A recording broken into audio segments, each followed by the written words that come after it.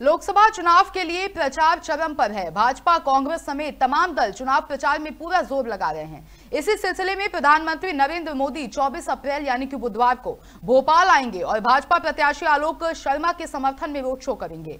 PM Modi के road show को लेकर आज, यानी मंगलवार को, पूर्वाभ्यास किया जाएगा। इसकी तैयारियों को देखने के लिए सोमवार रात को मुख्यमंत्री डॉक्टर मोहन यादव ने रोड शो मार्ग का निरीक्षण किया। मुख्यमंत्री मोतीलाल विज्ञान महाविद्यालय से नान के पेट्रोल पंप तक गए।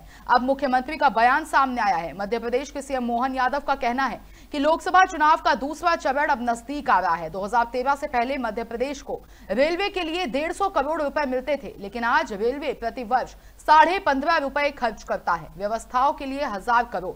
सुनिए सीएम ने क्या कुछ कहा।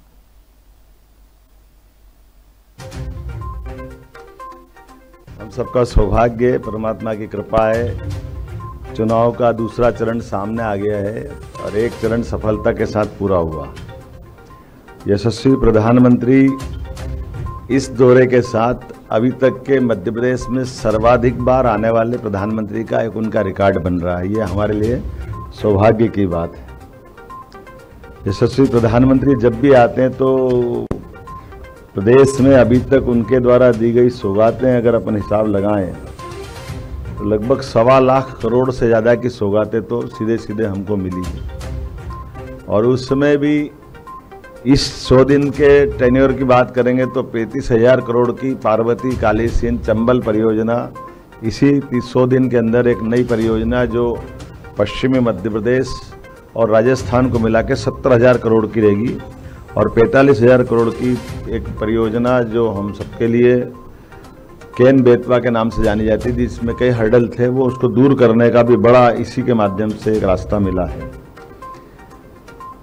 मुझे इस बात की प्रसन्नता है कि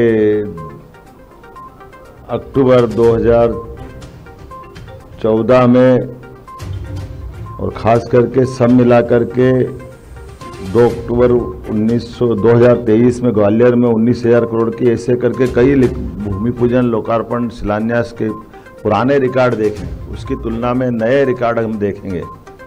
तो माननीय प्रधानमंत्री जी के सब क्षेत्रों में समान रूप से जितना ध्यान देना चाहिए थे मध्य प्रदेश का, जो हम स्लोगन चला रहे थे कि एमपी के मन में मोदी और मोदी के मन में एमपी। अकेले रेलवे का मैं बताना चाहूँगा कि रेलवे का 2013 के पहले डेढ़ सौ करोड़ रुपया मात्र हमारे राज्य को मिलता है। आज की स्थिति में साढ़े पंद्रह हज़ार करोड़ रुपया रेलवे प्रतिवर्ष अपनी इन व्यवस्थाओं के लिए खर्च कर रही है।